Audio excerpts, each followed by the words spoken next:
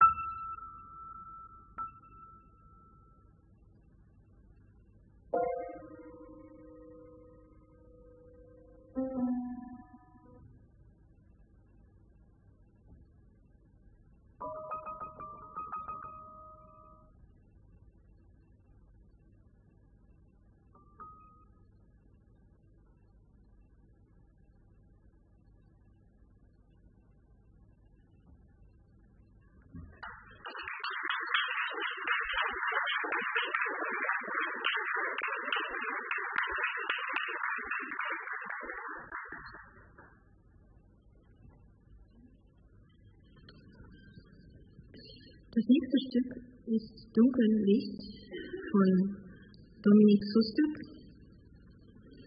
komponiert 2009. Dominik Sustek ist auch ein Organist und das Stück wurde im Dezember geschrieben und das mich zeigt eine klare Assoziation mit gedimmtem Kirchenlicht durch das bunte Fenster während der Christmesse.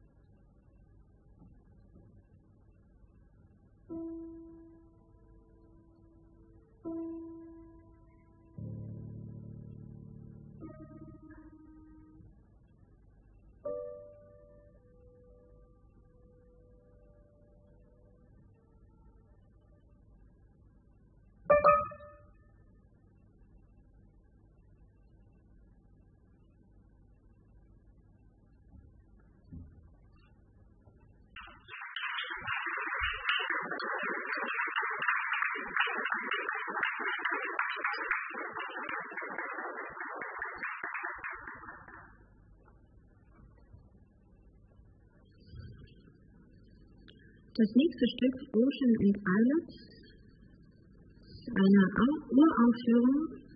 Das Stück komponiert 2022 von Katarzyna Zaborowska für Klavier und Fixed Media für mich. Das ist eine weitere Komposition mit dem Untertitel Group Art Picture.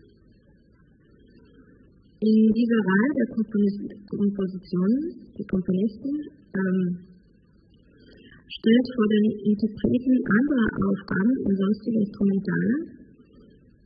Die Stücke aus dieser Reihe basieren auf klaren Bezügen zur tonalen Harmonik und vokal-melodischen Motiven und oszillieren zwischen dem Genre der instrumentalen Miniatur, dem klassischen Kunstlied und dem Popsong.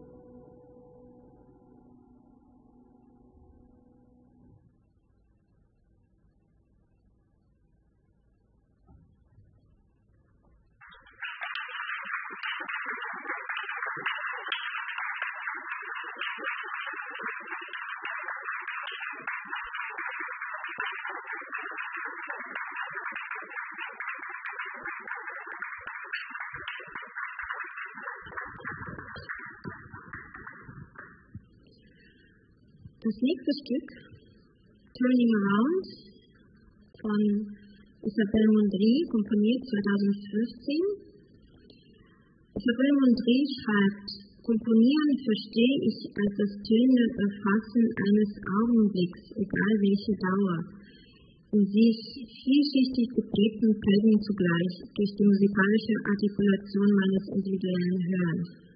Idee und Intention, Strukturfarben und kompositorisches Handeln sind drei untrennbar ineinander greifende Aspekte. In ihrer Relativität zeigt sich ihre Zeitlichkeit. In ihrer besonderen Relation liegt die Einzigartigkeit einer Komposition.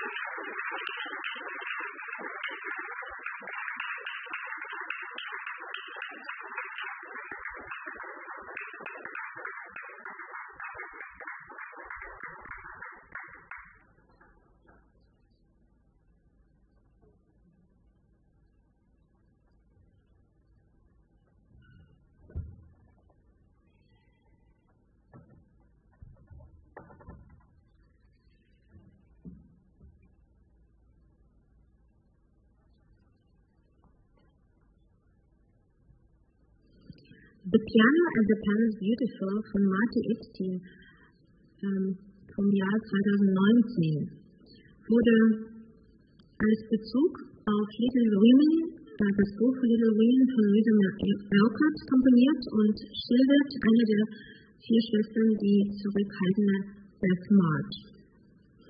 Marty Epstein schreibt, das Einzige, was sie aus ihrem Schneckenhaus heraus wollte, war die Musik. Schon zu Beginn des Buches wird ihre Leidenschaft für das Klavierspiel mehrfach erwähnt.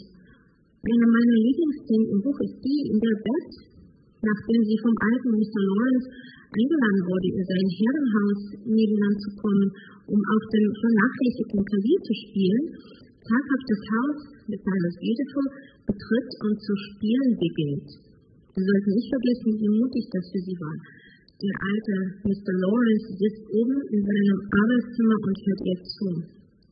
In meinem Stück stelle ich mir vor, was er gehört haben könnte, nicht nur, was sie tatsächlich spielte, sondern wie seine Erinnerung den Klang des Klaviers, der die Treppe hinaufwehte, gefiltert und verändert haben könnte. In meiner Vorstellung spielt sie durch Hymnen und improvisiert vielleicht sogar sie sich in ihrer eigenen Welt verliert.